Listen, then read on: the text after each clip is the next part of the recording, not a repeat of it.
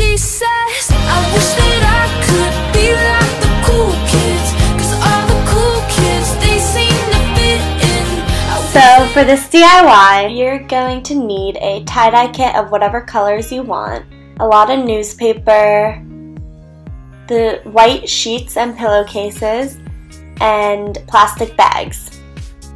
First, I laid down newspaper over my table just to reduce the mess, and then you're gonna wet the sheets and pillowcases, but you want to wring them out so they're not soaking wet.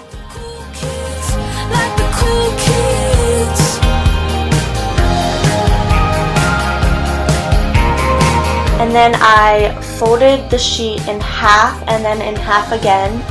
And now you're gonna take the rubber bands that come with the kit and make little sections like this. I did about 10 rubber bands. Next, fill up the bottles that already have dye in them. And you should probably put your gloves on before this step because I didn't and now my hands look like they're black and blue.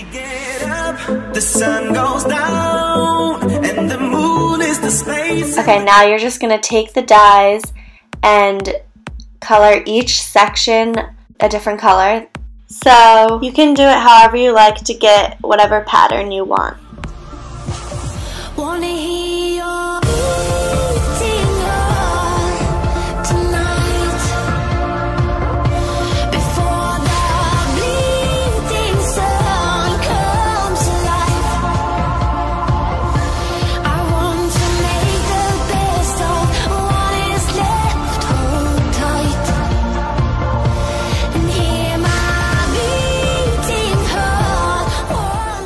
Okay, now these are the pillowcases. I'm just doing the same thing, but I only used about four rubber bands for these.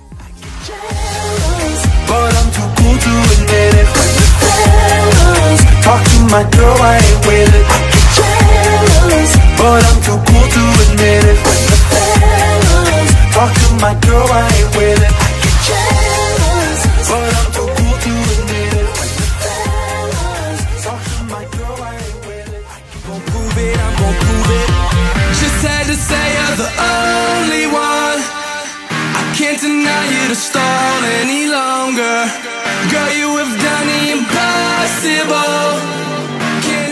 Okay, now just lay them out to dry for at least 8 hours or overnight.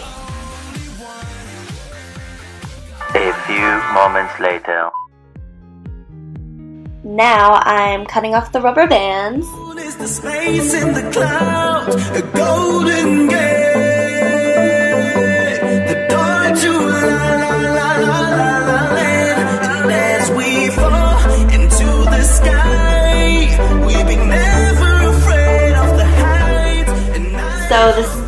And I am so pleased how it turned out because I didn't even make a test. Like this is the first time I've done it and it turned out amazing.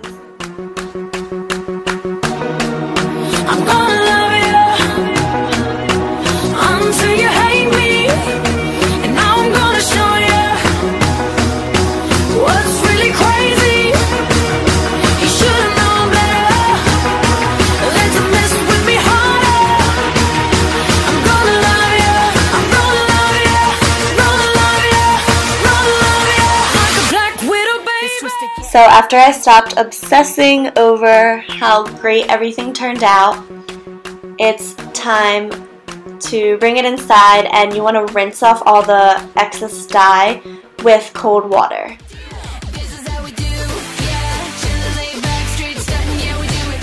Then I wrung it out and you're just gonna put it in a regular wash and dry cycle.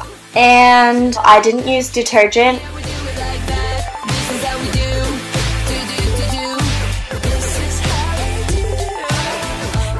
So this is how they turned out and I'm absolutely in love with them.